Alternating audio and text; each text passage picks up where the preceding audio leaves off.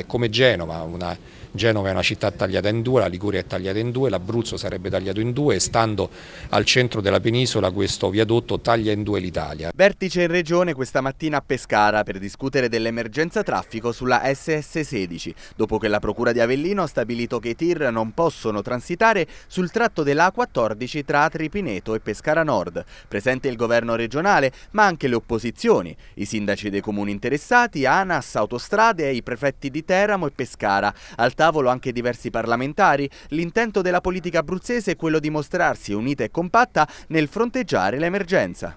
Eh, la speranza di tutti è che questo percorso si concluda positivamente nei primissimi giorni della settimana con un eh, accoglimento della istanza di dissequestro che consentirà ai mezzi pesanti di tornare sull'autostrada e quindi di, di, liberare la statale 16. Non dovesse accadere io sono pronto a chiedere uno stato di emergenza perché per noi una chiusura a tempo indeterminato, se non definitiva, del viadotto del Cerrano è come se fosse crollato un ponte Morandi. È necessario insistere con tutti gli elementi tecnici, valutativi di ogni genere, ivi compreso la, la, il livello di emergenza che si è determinato, insistere perché la misura venga revocata, modificata, attenuata, quella interdittiva sull'autostrada.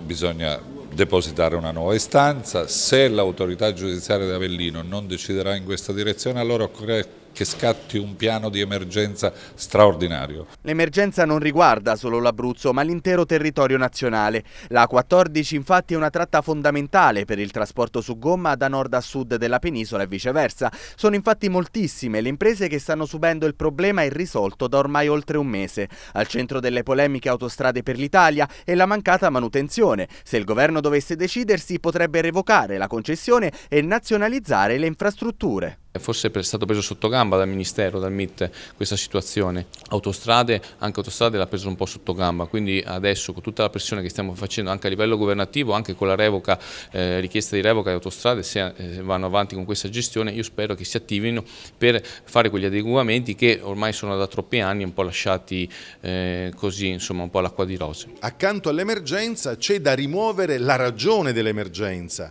cioè l'insicurezza di quel sistema di ancoraggio dei guardrail rispetto alla soletta di cemento e di asfalto del sedime autostradale. Bisogna produrre un fatto nuovo da parte del soggetto autostradale che deve in sede tecnica, in sede istituzionale concordare qual è il fatto nuovo che rassicura l'autorità giudiziaria per determinare una riduzione della inibizione. Mi è sembrato strano fino ad oggi che il soggetto gestore dell'autostrada abbia fatto istanza senza andare a produrre un minimo di dialogo istituzionale che rendesse certo l'accoglimento.